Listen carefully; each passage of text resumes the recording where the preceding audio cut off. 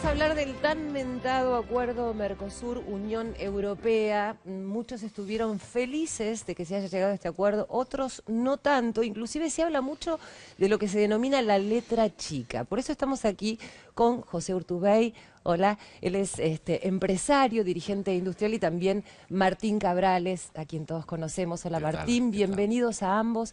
Quiero que me cuenten cuál es la posición de ustedes. Si bien hemos leído ya varias declaraciones que han hecho, ¿Por qué posiciones tan disímiles respecto a este acuerdo que todos indican que hace 20 años eh, que se viene trabajando en él? Sí, yo creo que en términos geopolíticos y económicos un acuerdo internacional de este tipo siempre es positivo para un país insertarse al mundo es positivo. Como vos bien decís, lleva un periodo de 20 años de negociación. Ahora, dicho esto, creo que también es importante decir que es llamativo que no tengamos la letra chica en forma previa de cuáles son las posiciones arancelarias o cuáles son las prioridades que estableció el gobierno a la hora de la negociación, pero, pero como acuerdo sin lugar a dudas es positivo.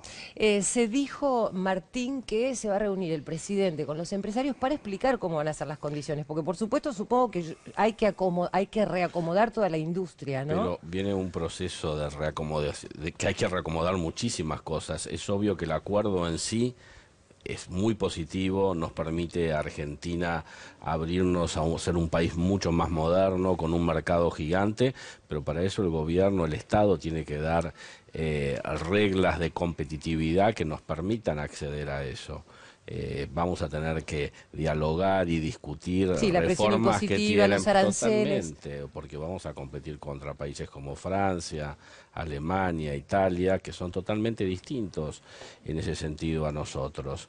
Eh, tengo entendido también que de Cancillería van a ir llamando a las distintas cámaras para ir explicando eh, la letra chica. Yo creo que de la firma del acuerdo a cuando el acuerdo se ponga en marcha eh, van a suceder un montón de cosas y los empresarios tenemos un rol muy importante en esto porque hay que buscar también la protección de la gente, ayudar a la gente que trabaja con nosotros. Eh, nosotros vivimos dando mano de obra, invirtiendo en Argentina y asumiendo, y asumiendo riesgos. Y bueno, un poco eh, nuestra función va a ser cuidar esa mano de obra eh, y seguir invirtiendo en el país. Pensaba en los dichos de Fernández, candidato a, presidente. ¿Qué opinión le merece a ustedes? a ver, yo creo que está rayando la irresponsabilidad una declaración de ese tipo de criticar el acuerdo por sí mismo. Es decir, yo soy, tengo posiciones críticas por no conocer la letra chica, pero eh, está claro que un acuerdo de este mm. tipo son positivos para el país. Me parece que no hay que politizar. Acá nosotros en estos temas creo que la Argentina debe llevar una posición de Estado, una posición mm. uniforme, más allá de un sesgo partidario y sobre todo entendiendo que estamos en un proceso eleccionario. Eh, son declaraciones inoportunas, casi rayando la irresponsabilidad desde mi punto de vista. ¿Cómo es para las pequeñas empresas, por ejemplo? Hablamos de un pequeño empresario que tiene una carga tributaria importante, que tiene muchísima presión, que a veces tiene que liberar a algunos empleados porque no puede sostener. ¿Qué es lo que se viene diciendo hasta ahora? ¿En qué podría favorecerlo este acuerdo? Que me conteste No, el, acuerdo en sí no va a favorecer en ese aspecto. El acuerdo sí favorece en cuanto que va a haber un nuevo mercado muchísimo más grande, con la potencialidad de poder venderle a ese mercado. Mm. Pero para poder ser competitivos y poder entrar en, en, esos mercados hay que hacer las reformas estructurales y fuertes que todavía están pendientes. Reformas laborales. Puede ser una modernización laboral teniendo en cuenta eh, a, la gente, teniendo en cuenta al empleado, eh, es decir, para que se pueda tomar más cantidad de gente. porque teóricamente vamos a necesitar muchísima más producción si el acuerdo funciona bien. Claro. O sea, van a tener más demanda del exterior. Van a necesitar... Siempre y cuando se hagan las reformas internas también Absolutamente, que nos para poder ser competitivos. Reforma, por eso, pero reformas que nunca se hicieron. O sea, trabajo en negro, eh, digamos, como un acomodamiento que, hasta acá un sinceramiento también. Pensá que el 45% de trabajo en negro aproximadamente, todo eso se tiene que se sincerar y te tienen que dar las situaciones o las condiciones para, para blanquear eso, para volverlo a la formalidad. Sí, digamos, hoy, está, hoy estamos produciendo para tener una referencia. Hoy estamos produciendo para 10 y abriendo ese mercado. En el caso potencial de que suceda, en el tiempo y forma, estaríamos para cuánto, de 10. Es, importante empezar con el tiempo y forma que vos decís. Es decir, un acuerdo de este tipo primero que requiere aprobación de los congresos de cada uno de los países signantes.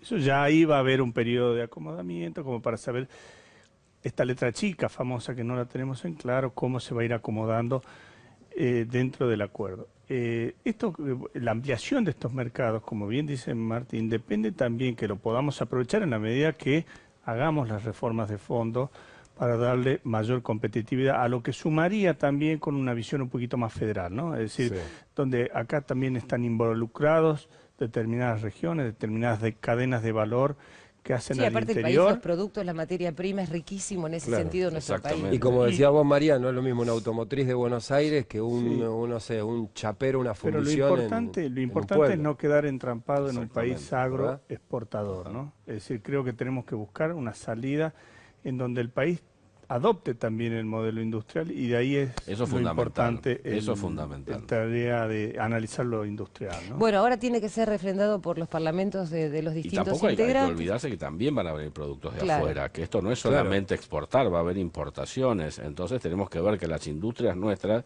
estén también en las mismas condiciones para poder competir que las industrias del exterior, porque si no sería una competencia totalmente despareja. Seguramente esos serán los temas que se hablarán con el presidente o con, los ministros en su son temas que van a llevar un tiempo y que van a ser discusiones donde el empresariado vamos a tener una participación eh, fundamental para cuidar los intereses de, los argentinos, porque los intereses nuestros son los intereses de la gente que está con nosotros.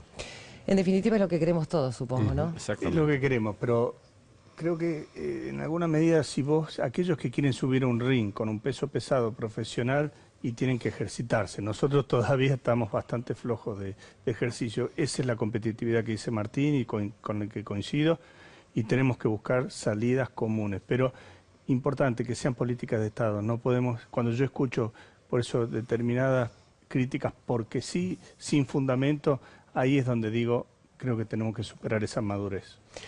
Muchas gracias. Gracias a ustedes. Gracias, ¿eh? muchas gracias. Gracias por venir.